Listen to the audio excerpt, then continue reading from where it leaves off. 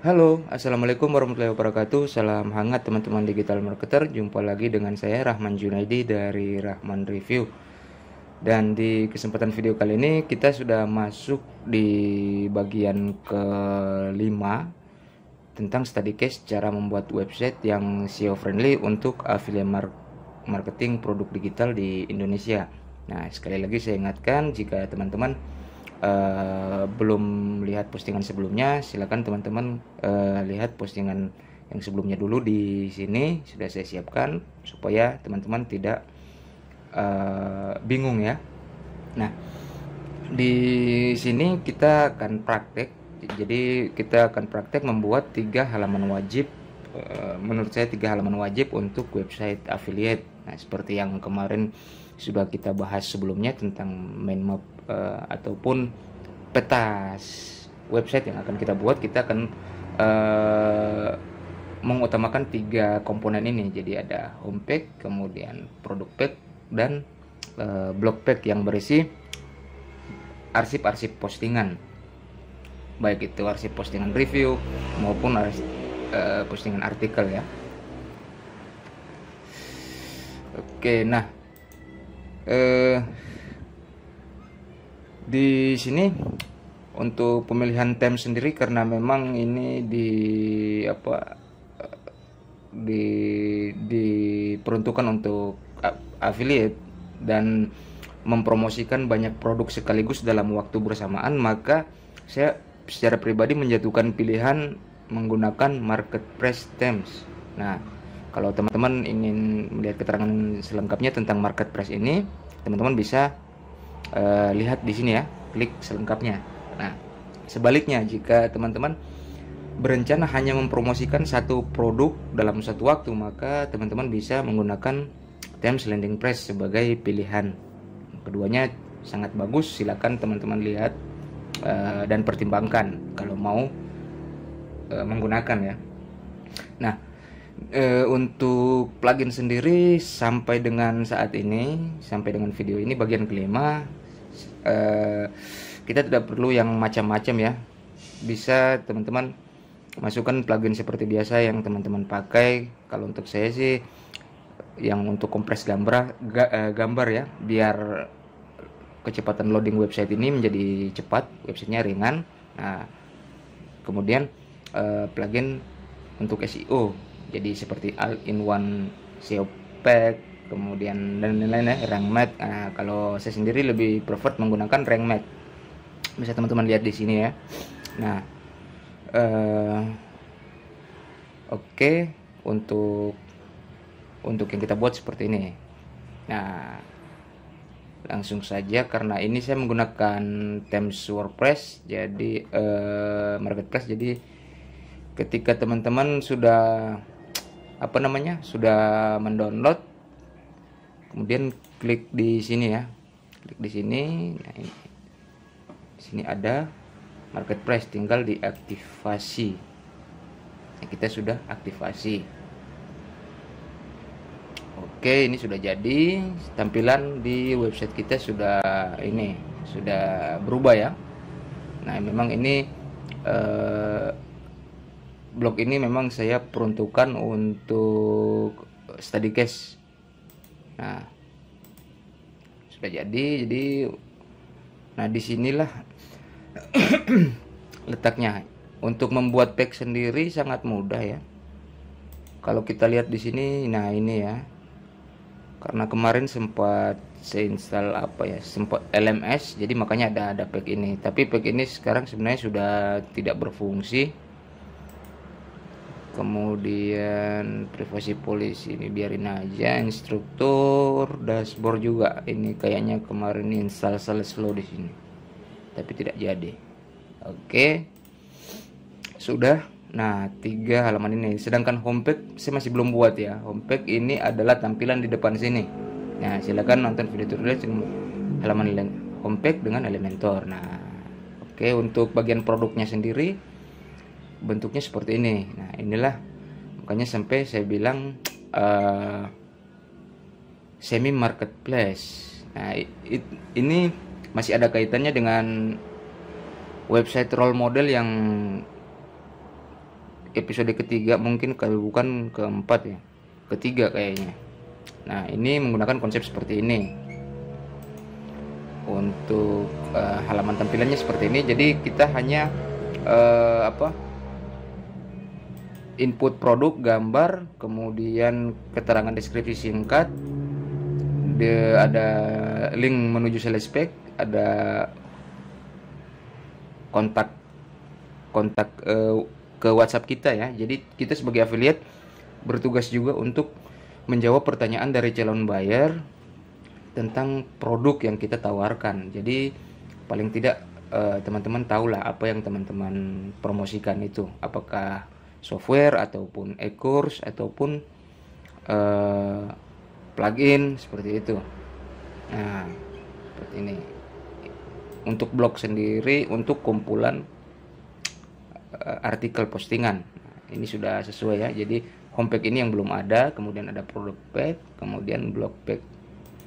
Nah, untuk uh, ini sendiri, homepage sendiri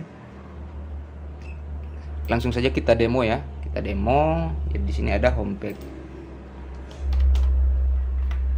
Homepage. Nah, homepage ini template. Nah, ini masing-masing themes berbeda ya jadi kalau di sini saya mau buat homepage berarti saya menggunakan Elementor nah kalau ada script bisa dimasukkan di sini kemudian hidden affiliate link lanjut saja kemudian kita tekan publish. Oke. Kemudian kita edit dulu menggunakan Elementor. Nah di sini di sini belum ada template kayaknya. Oke belum ada memang ya. Di sini belum ada eh, apa ya kira-kira yang yang bagus kita pakai ini. Ini yang free ada enggak ya? Kelihatannya tidak ada.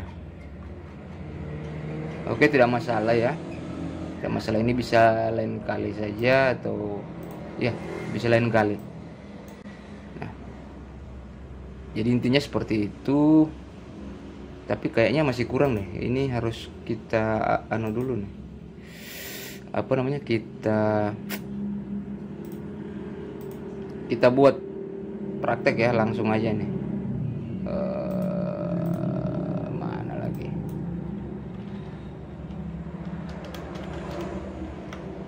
admin. Oke kita install plugin dulu yang yang sekiranya perlu. Oh, di sini saya menginstal apa ya? Hmm, plugin plugin Elementor template nih ceritanya. Template template template template.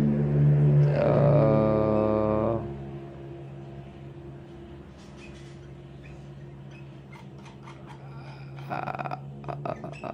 mana ya?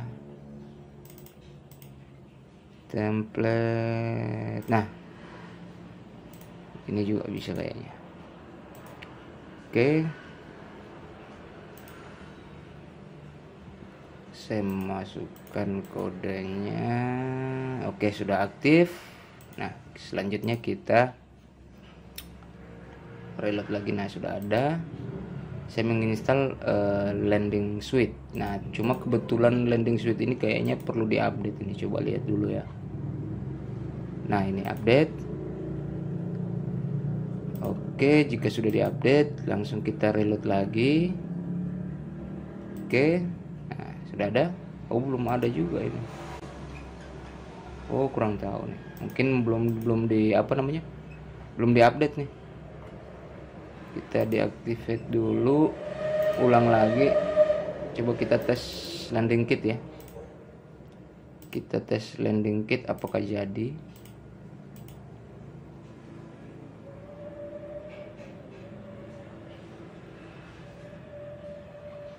Pokoknya sudah ada? Oke coba. Landing kit landing kit.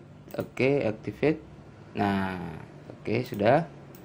Kemudian kita reload lagi nah ini landing kit.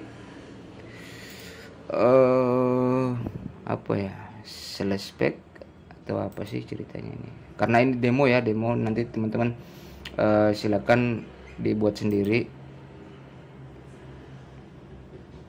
Produk launch. Nah ini sekedar contoh ya. Demo. Saya pilih yang ini aja